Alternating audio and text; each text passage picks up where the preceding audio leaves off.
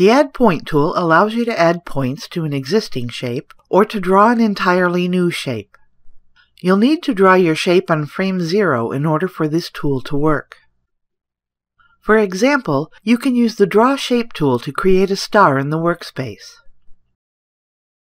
After you draw the star, switch to the Add Point tool.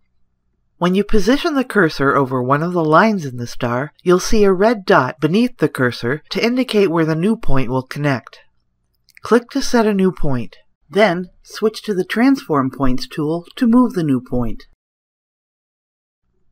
You can also add a new point and translate it at the same time.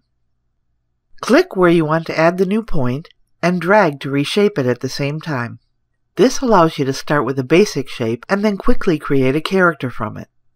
When you check the Sharp Corners option, the Add Point tool will create sharp edges when you add and translate the new point. To create an entirely new shape with the Add Point tool, just click and drag repeatedly to draw out the new shape.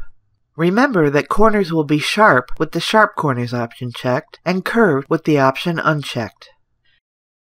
The Add Point tool has Auto Weld and Auto Fill options in the toolbar.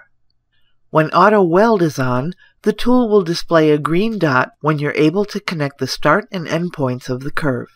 With the option unchecked, you can create an open curve. The Auto Fill option uses the fill and stroke colors that you select in the Style window. With the option checked, a fill will be added to the shape that you draw when it's closed.